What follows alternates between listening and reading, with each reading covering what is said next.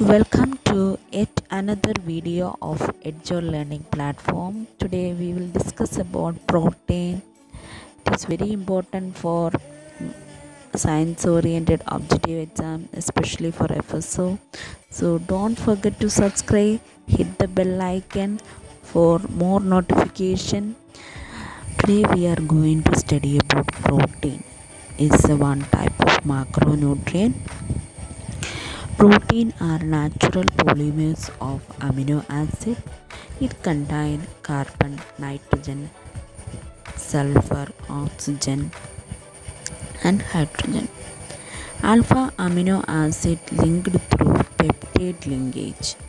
It has a polypeptide bond. So protein is linked through a alpha amino acid linked through a peptide linkage. First of all when you think about protein just you think about peptide peptide linkage. It has polypeptide bond. The percentage of carbon hydrogen oxygen sulfur and nitrogen. Carbon 53 percentage hydrogen 7 percentage oxygen 23 percentage sulfur 1 percentage nitrogen 16 percentage. What are the biological importance of protein? First of all protein which contains or which act as a plasma membrane which regulate transfer of many substrate across cell membrane. And protein some of the proteins are act as transport protein that is example is hemoglobin. And next one is actin and myosin. Actin and myosin is a protein present in meat and it is a contractile contractile protein and a muscle cell also. And transferrin. Transferrin means transport iron in blood. All receptors enzymes antibodies antibodies are pres- present or are protein in nature. Lactase and pepsin the case of receptors and about the lactase and pepsin is in the case of enzyme. It's not in the receptors. Choline and neurotransmitter as a receptor. And immune globulin globulin is antibody. So definitely the question will ask like this which of the protein is is used for uh, antibodies. And there are option are given like this means you have to choose the correct one. Some protein are protective. Example is keratin keratin which contains skin hair and all. Storage protein is egg albumin seed protein. So some of the protein which act as supportive that is collagen. It's animal protein. So there are so many important biological importance are there.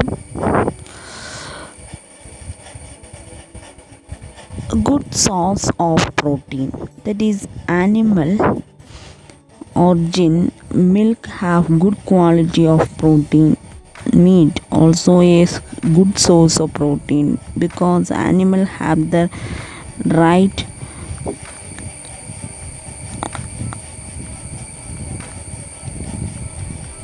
because the animal have the amount of essential amino acid which are the source of animal food. Means which all animal food contain the protein and it is how many how much percentage of proteins are included in it. That is meat around 18.22 percentage. Milk 3.5 percentage. Egg white 12 percentage. Freshwater fish 13 to 25 percentage. So meat which contain 18.22 percentage milk 3.5 percentage egg white 12 percentage freshwater fish 13 in between 13 and 25 percentage or 13 to 25 percentage.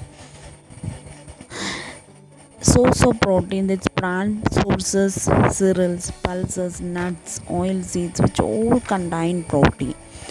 And wheat wheat which contain 12 to 13 percentage and what about rice? Rice contains 7.9 percentage. Gluten protein. Gluten is the protein which contain in wheat. It's used for bread making and all. And bengal gram dal which contain 20.8 percentage. Green gram dal which contain 24.5 percentage dry bean 24.9 percentage dry pea 19.7 percentage. What about vegetables and oil seeds? Vegetables and oil seeds fresh vegetable bean 2 percentage carrot 1 percentage and in the case of oil seeds groundnut 26.7 percentage soybean 43.2 percentage. Soybean which contain high protein 43.2 percentage. Cotton seed 19.5 percentage. Sunflower 12.5 percentage. So just you have to go through the numbers very clearly and try to read one more two or three read and try to watch one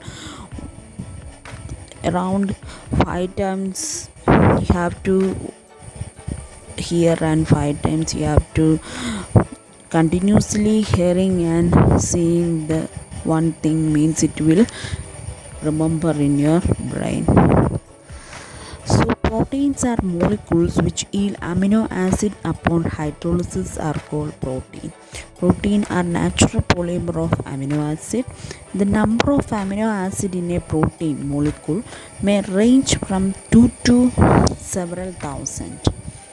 Protein molecules contain nitrogen, carbon, hydrogen and oxygen.